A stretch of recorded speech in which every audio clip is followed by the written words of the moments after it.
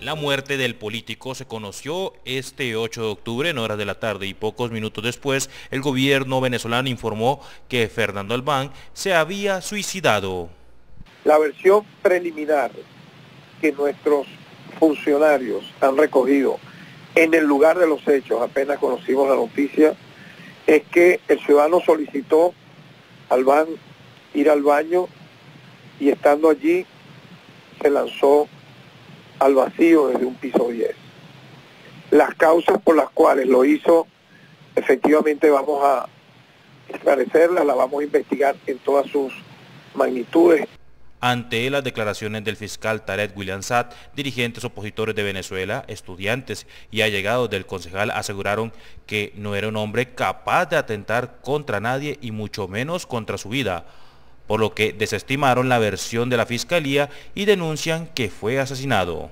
Como hombre de iglesia quisieron que quedara rayado, cometer el peor pecado, pero él no lo hizo, él no se mató, él no se mató, ellos lo mataron.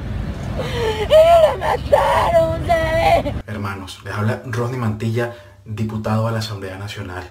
Hago este video para dar fe que ningún preso político que pisa el Cedín Plaza Venezuela y el Cedín Helicoide puede ir al baño sin una custodia de al menos dos funcionarios. El concejal Albán fue asesinado. Otra víctima más de González López, otra víctima más de Delcy Rodríguez. Repitiendo la mentira del régimen y de esta desgraciada dictadura de que Fernando Albán se suicidó.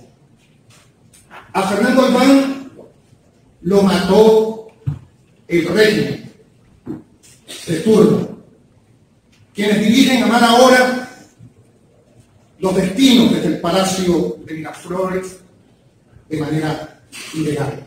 El abogado Joel Acosta señala que el lugar donde presuntamente se habría suicidado Albán hay por lo menos cuatro cámaras de vigilancia, por lo que solicitó acceso a las grabaciones del día en que ocurrió el hecho.